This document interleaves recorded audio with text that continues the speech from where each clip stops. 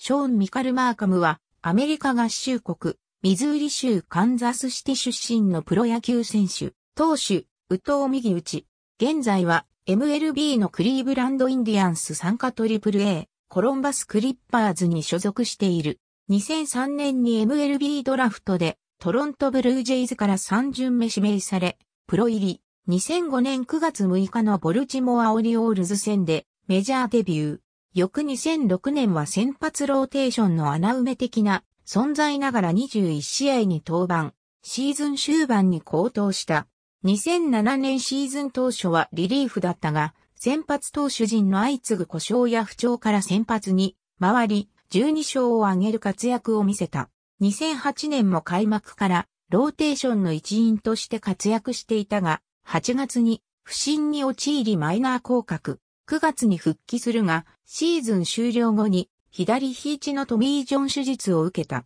2009年は開幕からリハビリに専念していたが、7月に A 級ダニーデンブルージェイズで実戦復帰を果たした。当初は8月以降のメジャー復帰を目指しているとされたが、チームが地区4位と低迷したこともあり、球団 GM の JP リッチャーディはマーカムに無理をさせず、2010年の復帰に向けてじっくり調整させる方針を固めたため、マイナー5試合に調整登板した時点でシーズンを終えた。2010年はそれまでブルージェイズのエースを担ってきたロイ・ハラデーが移籍したため、彼に代わる開幕投手に指名される。高騰するもなかなか勝ち星に恵まれない状況にあったが、5月2日のオークランドアスレチックス戦で7回、1失点の高騰で勝ち投手となり、2008年9月以来となる公式戦での勝利投手となった。最終的に自己最多の13勝を挙げ、先発登板数、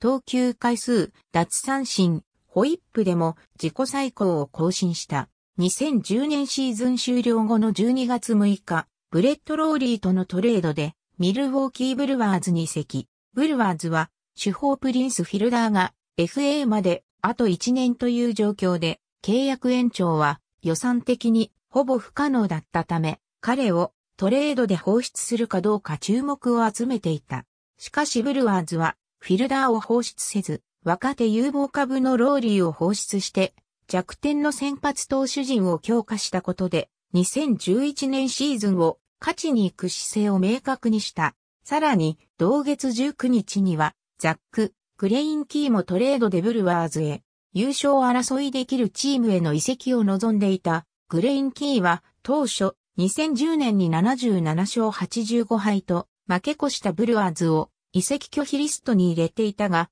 フィルダーを残留させマーカムを獲得したブルワーズの姿勢に考えを改め、移籍を承諾したという。2011年は、レギュラーシーズン33試合に登板、自身最多投球回数となる200回1、3を投げ、13勝7敗、防御率3.54で、ブルワーズ地区優勝に貢献。しかし、ポストシーズンでは先発した3試合でいずれも打ち込まれ、0勝3敗、防御率14.90といいところがなく、チームもセントルイスカージナルスに敗れ、ワールドシリーズ出場を逃した。2012年10月29日に FA となった。2013年1月30日にニューヨークメッツと1年400万ドルで契約。シーズンでは14試合に登板して1勝10敗。防御率5.29で7月23日に放出された。2013年12月16日に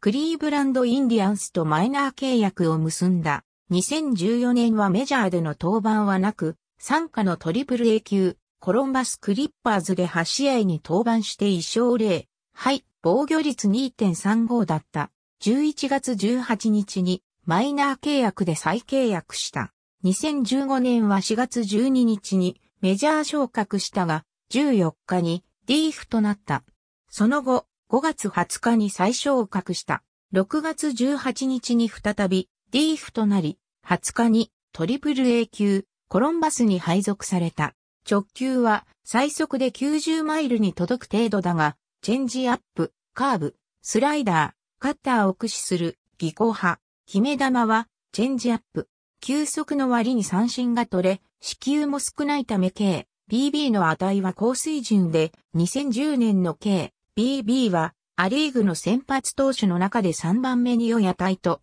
記録している。その一方で、フライボーラーであるため、非本塁打が多くなる傾向にあるのが課題である。ありがとうございます。